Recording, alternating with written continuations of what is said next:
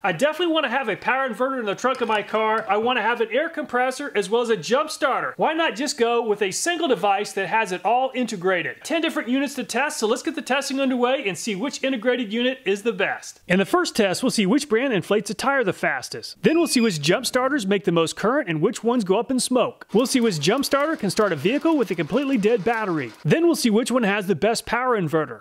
At a price of only $118, the least expensive brand we'll be testing is made by Stanley. The Stanley unit has a sealed lead acid battery. The jump starter is 1200 amps peak and 600 instant. The power inverter is up to 500 watts. We're going to test that. Stanley claims that their air compressor can inflate a car tire. We're going to test that too. The Stanley has a 120 volt outlet and three USB ports. The Stanley does not have a 12 volt socket. You can use an extension cord to plug into the back of the Stanley unit to give it a charge. The power on the LED light, you simply push the LED button. The LED light has 270 degrees of range. The Stanley brand is made in Vietnam. The Stanley is fully charged. The Stanley weighs 17 pounds. To measure the loudness of the air compressor, I'll place the sound meter 36 inches or 1 meter from the sound meter. The Stanley is pretty loud at 85 decibels. All of the power stations are fully charged. So let's see how quickly each of the brands can inflate a tire that's on a small pickup truck. To use the air compressor, you set the unit to the desired air pressure and then you start the unit. I'll set the tire pressure to 35 psi. And the Stanley was making pretty decent progress, but it suddenly powered down at 10 minutes. The gauge on the Stanley indicates 20.4 psi, which is very close to the same as the tire pressure gauge, which is showing 21 psi. The hottest part of the case on the Stanley is 115 degrees Fahrenheit. After 10 minutes of use, the Stanley is at 12.82 volts, which is pretty close to fully charged. At a price of $134, the second least expensive brand we'll be testing is made by Potek. The Potek also has a sealed lead acid battery, 1500 peak amps, 150 psi air compressor, and 300 watt power inverter. The unit comes with a charge adapter that's stored in the side compartment. You can charge this unit using a 120 volt outlet or your vehicle's 12 volt accessory. The Potek has a USB port, a 12 volt socket, and two 120 volt outlets. The air pressure hose is stored in a side compartment. This unit has a manual gauge and you'll have to watch the pressure until it reaches the desired pressure. The Potek is made in China. The battery is fully charged. Just like the Stanley, the Potek also weighs 17 pounds.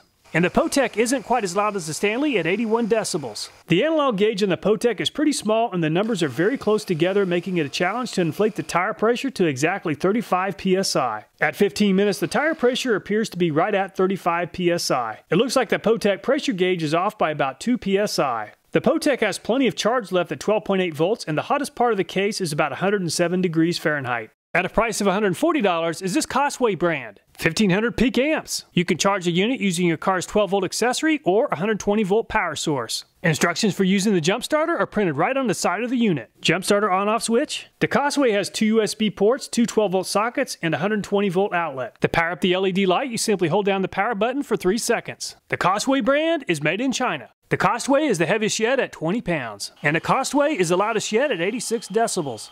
And the Costway needs 19 minutes or 4 minutes longer than the Potek to inflate the tire. However, the pressure gauge on the Costway is pretty accurate. The extra run time needed to inflate the tire did drain the battery a little bit more than the Potek, 12.68 volts, which is still near a full charge. The hottest part of the Potek is nearly 190 degrees Fahrenheit. Also at a price of $140, the same price as the Costway is the Schumacher brand. 1200 amp jump starter, 200 watt power inverter, 150 psi air compressor, built-in LED light, the Schumacher has a USB port, two 12 volt sockets, and two 120 volt outlets. You can use an extension cord and a 120 volt outlet to charge the Schumacher. The Schumacher includes both an air compressor as well as an inflator. The Schumacher is assembled in Mexico. The Schumacher weighs 17 pounds. And the Schumacher makes about the same amount of noise as a Stanley at 85 decibels. And the Schumacher seems to be the fastest yet, inflating the tire to 35 psi in only 12 minutes. Unfortunately, the Schumacher's gauge is off by about 7 psi, so let's keep on inflating the tire until we reach 35 psi. So it took a total of 15 and a half minutes to reach 35 psi. The battery life indicator still shows 96%. The voltmeter on the Schumacher is pretty close to the same as the ohm meter at 12.7 volts. The hottest area on the battery case is around 106 degrees Fahrenheit.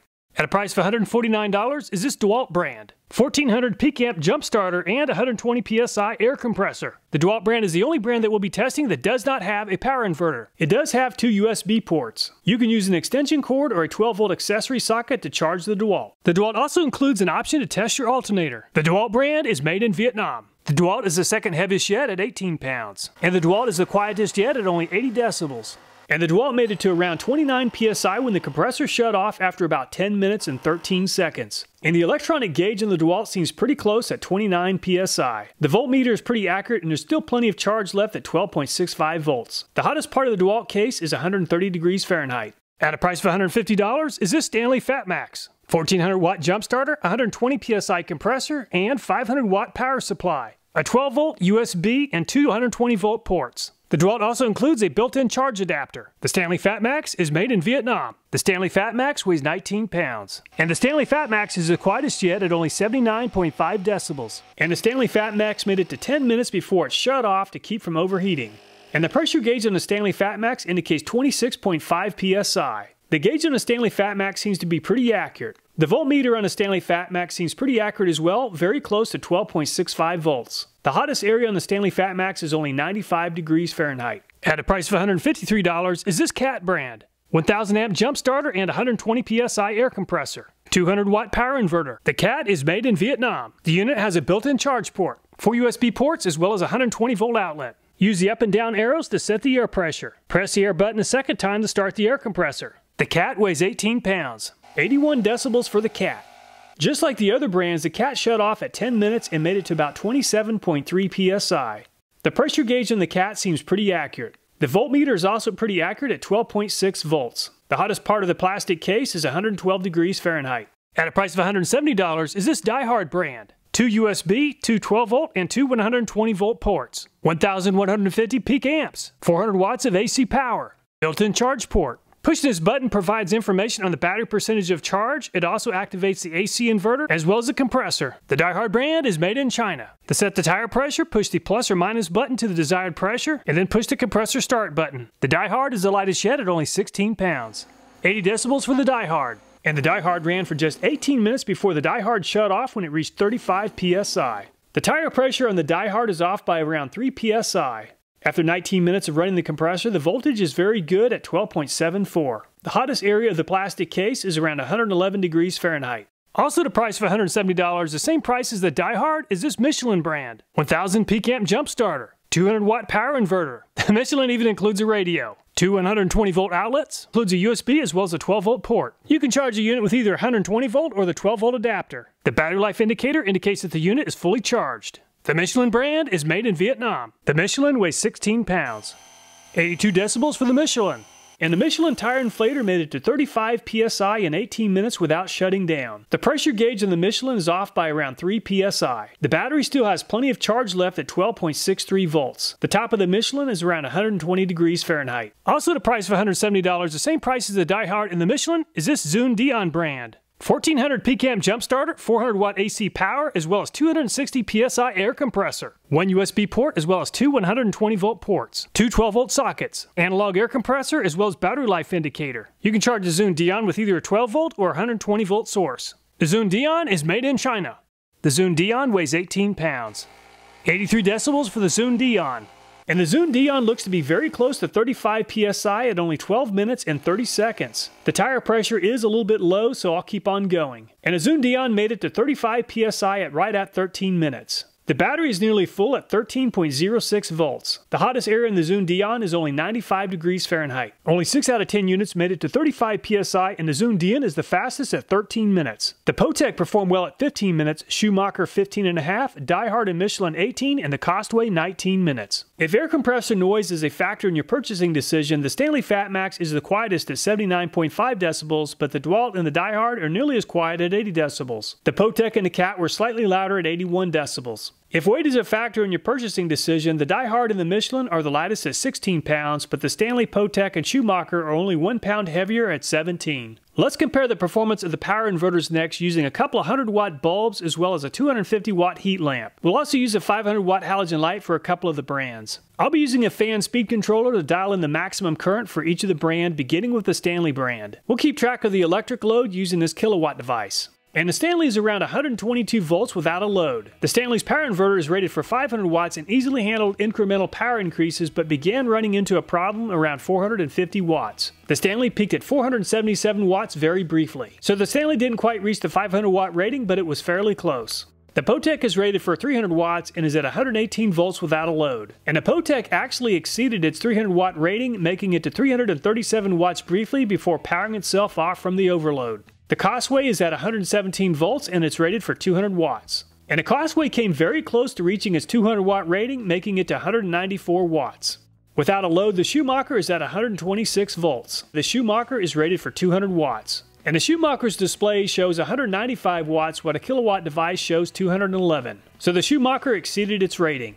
And the Stanley FatMax is rated for 500 watts and it started off at 121.4 volts. The Stanley FatMax briefly made it to 435 watts. It was lights out pretty quickly when attempting to go above 435 watts. The Cat is rated for 200 watts and it started off at 122.8 volts. And the Cat brand did exceed its 200 watt rating, making it to 211 watts.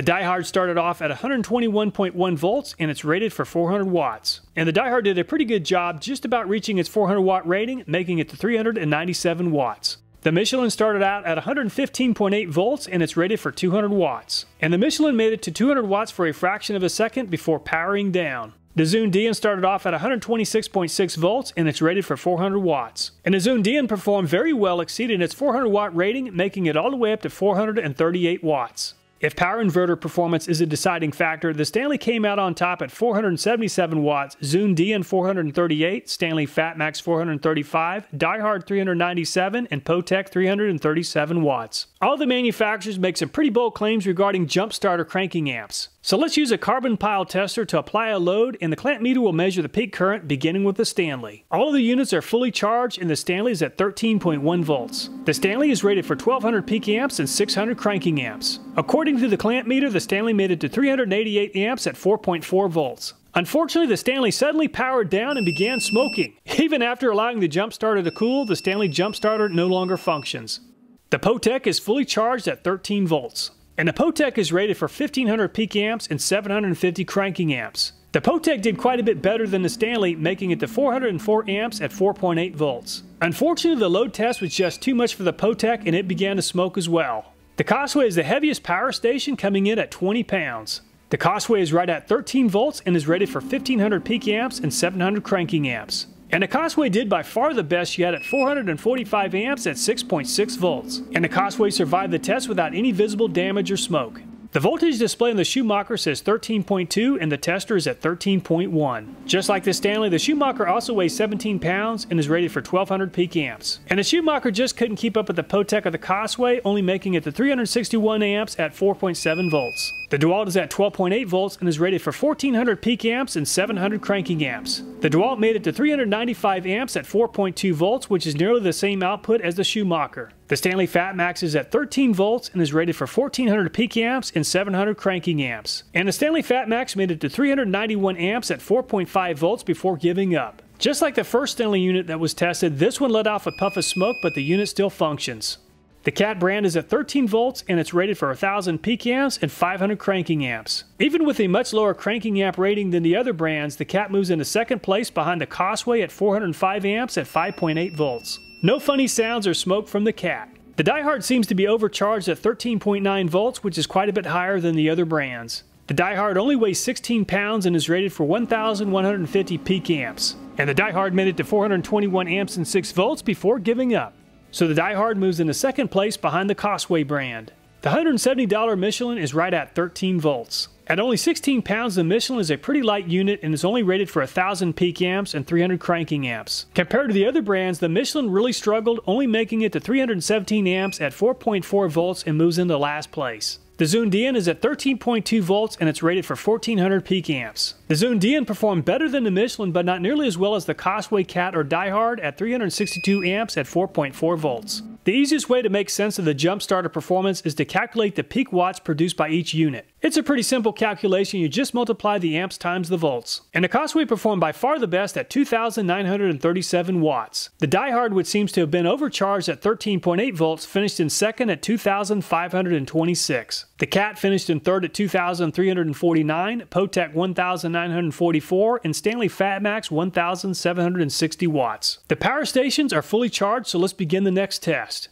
I tested the car jump starters with a battery that was charged to around 11 volts, and these jump starters did just fine getting the vehicle started. However, let's really put these jump starters to the test, jump starting this Ford Ranger with a V6 engine. The battery is only at 2 volts, and I've disabled the ignition system to keep the engine from starting. Unfortunately, the Stanley jump starter no longer functions. With the vehicle battery almost completely drained, the Potek just wasn't able to get the engine spinning over fast enough to start it. Unfortunately, the Potek is smoking. And the Costway performed by far the best on the bench test at nearly 3,000 watts of output and it did a terrific job on this test. And the Costway definitely spun the engine over fast enough to get the engine running for nearly 18 seconds. Very impressive. The Schumacher battery is at 100%. The Schumacher bench tested at only 1,697 watts or 1,400 watts lower than the Costway. And the voltage dropped quickly to around 7 volts, far too low to get the engine started. The DeWalt is at 13 volts and it was bench tested at only 1,659 watts. And the DeWalt voltage quickly dropped to around 8 volts, which is far too low to get the engine spinning fast enough to start. The Stanley FatMax is at 13.1 volts and bench tested at 1,760 watts. The voltage display on the Stanley FatMax showed a voltage drop to just over 8 volts, which just isn't nearly enough to get the engine spinning. The Cat bench tested at 2,349 watts but didn't produce enough current to get the engine spinning fast enough. The Diehard started out at over 13 volts and quickly dropped to around 7 volts. It almost made enough current to get the engine spinning fast enough. The Michelin finished in last place on the bench test and really struggled on this test as well. The ZunDian only made 1600 watts during the bench test and that's not nearly enough to get the engine to start. So the Costway is the only jump starter that made enough current to start the engine with a completely drained battery. All the power stations are fully charged. So let's see which one has the most battery capacity using a power inverter connected to a jump starter cable. The power stations will be powering up a 500 watt bulb. The cutoff voltage for the power inverter is 10.5 volts. And the Potek lasted 5 minutes and 12 seconds with a 35 amp load before the voltage dropped to around 10.5 ending the test. Once again, the Costway performed extremely well at 14 minutes and 33 seconds, nearly 3 times as long as the Potek. The Schumacher performed below average on the jump starter bench test and it barely finished ahead of the Potek at 5 minutes and 20 seconds. The DeWalt performed nearly the same as the Schumacher on the jump starter bench test, but it actually performed quite a bit better on this test, lasting 9 minutes and 19 seconds, which is only 5 minutes less runtime than the Costway.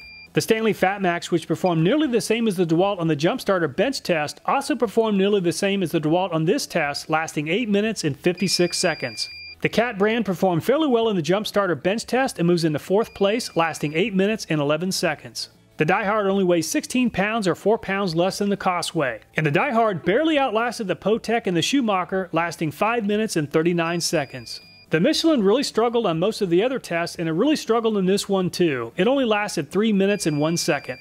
The ZunDian weighs 18 pounds, which is slightly heavier than average. And the ZunDian moves into second place behind the Costway at 10 minutes and 45 seconds. If power station battery capacity is a factor in your purchasing decision, the Costway dominated the competition lasting 14.6 minutes or nearly 4 minutes longer than the ZunDian. The DeWalt finished in third place at 9.3 minutes, Stanley FatMax 8.9, and Cat 8.2 minutes. The air compressor might be a little bit loud on the Costway, however, it totally dominated the competition in all other categories. All the videos in this channel, including this one, are viewer suggested. So if you have a video idea, I hope you'll take time to leave a comment.